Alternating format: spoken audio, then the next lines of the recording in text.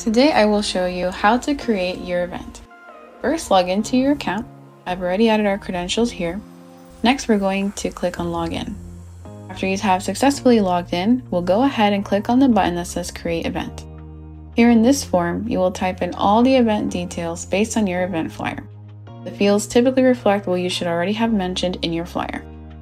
This is the one that we will be using today. Enter the event name, date, and door time.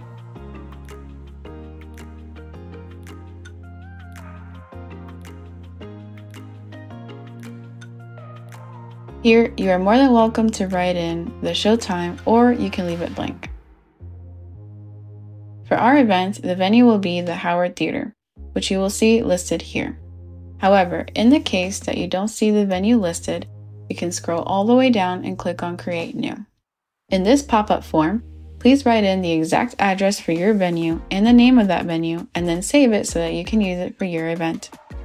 The system already recognizes this venue, so we'll go ahead and select it. For the contact email, use an email address that you actively check so you can review any client questions. Use a contact phone number clients can also use. Make sure to always have age restrictions listed so people can consider this when buying their tickets. Please inform whether you have seating available at your event or if it's standing room only. Now, under marketing, select the type of event that you're hosting and what genre of music your event falls in, if applicable.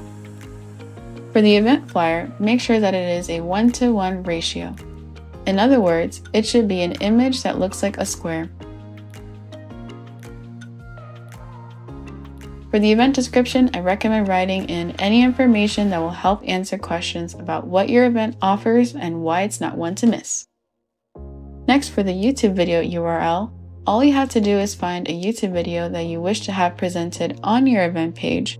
Click on Share, copy that link, bring it back to this field, and paste it.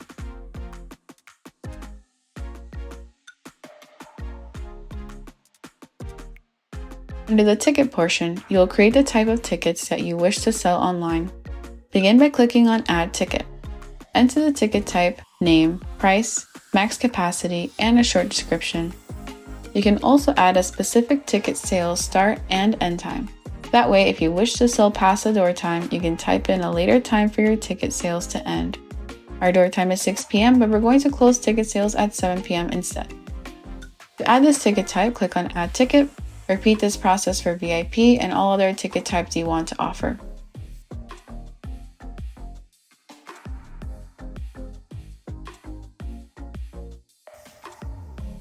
Now you can review your event, make sure all the details are correct.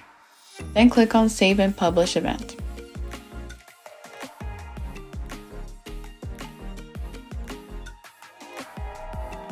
Click on View Event to see what it looks like online. And congratulations, you created your first event.